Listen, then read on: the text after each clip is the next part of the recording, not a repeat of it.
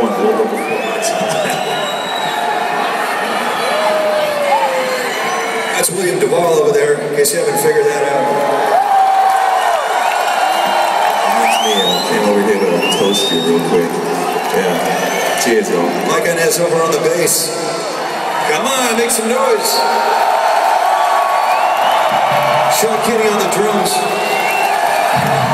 Jerry Cantrell, we are Alice in Chains.